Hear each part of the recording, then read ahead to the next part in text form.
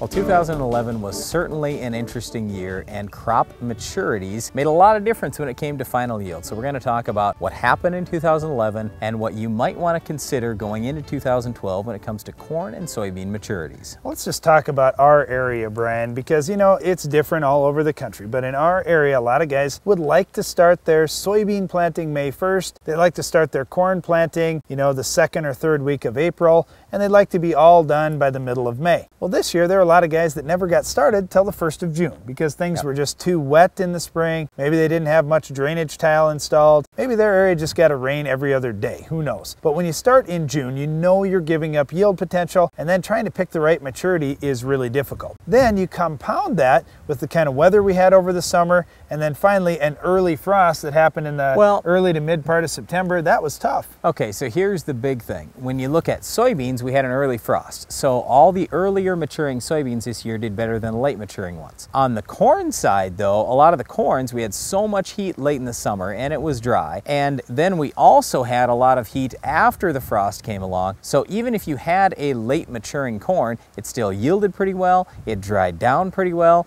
and you couldn't even tell the difference. We planted really late stuff for our area on a few acres, and it was 15% moisture coming right out of the field in the middle of October. It's unheard of. So you start thinking, whoa, I, if I can do that, well, I should plant a lot more acres of that next year. But you can't think that way. You gotta make sure as a farmer, you don't read too much into, well, this happened this year, so next year I'm gonna adjust my whole plan based on this year. You gotta look at the overall long-term average, and the long-term average says you can't get late maturing stuff to always work, but on the other hand, you can't always get early maturing stuff to work, so that's why we encourage you to spread the risk. Well, you know, soybeans, it's really the same story. Last year we had a 2.3 relative maturity bean. That was by far our best bean. It was fantastic. 75 bushels, the whole field average. And this year, you know, we planted that same bean. We didn't plant it on a huge amount of acres, but we planted it on maybe 10% of our acres or so of soybeans. Yeah, 55 bushel whole field average. And yeah. it was all because of that early frost. It just killed us. But what do you do? I mean, that's why we only wanted to plant a few acres to that. Last year it was great. This year not so good. The average, pretty good. Well, I think what's interesting is you go an hour south of our farm, or maybe an hour and a half south, and that number won all kinds of yield trials. You know, it was all about that frost. And if you had the late maturity beans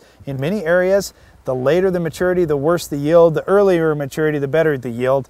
And next year, it could be completely the opposite. So you need to spread things out just a little bit on your farm. Don't plant all the same maturity in case you have a problem. You don't want to plant all early maturity beans because you may be giving up some yield potential, but you don't want to plant all late maturity beans either and take that big risk. So far, what we've told you is not rocket science. You probably already know that stuff as a farmer.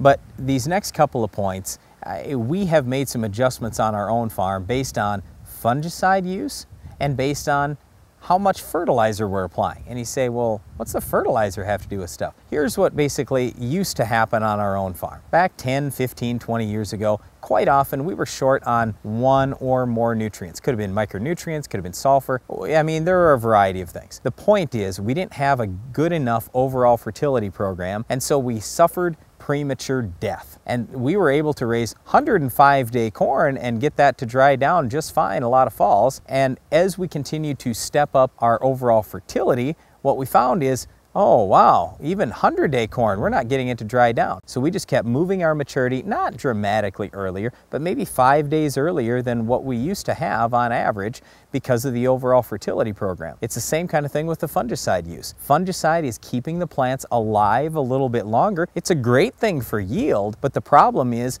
things aren't maturing quite as quickly as they used to. So if you're providing ample fertility, if you're using fungicides, and also one other point, if you're planting higher populations, it also seems like that delays maturity just slightly, not a lot, but a little bit. So it's just kind of tweaking your overall program to get that better because we know that drying costs are tremendous anymore on the corn side. And we also know that when you push maturities on soybeans and you get that early frost, it really hurts yield. So these are some factors you need to think about on your farm. Well, the important thing to remember is all these things work together.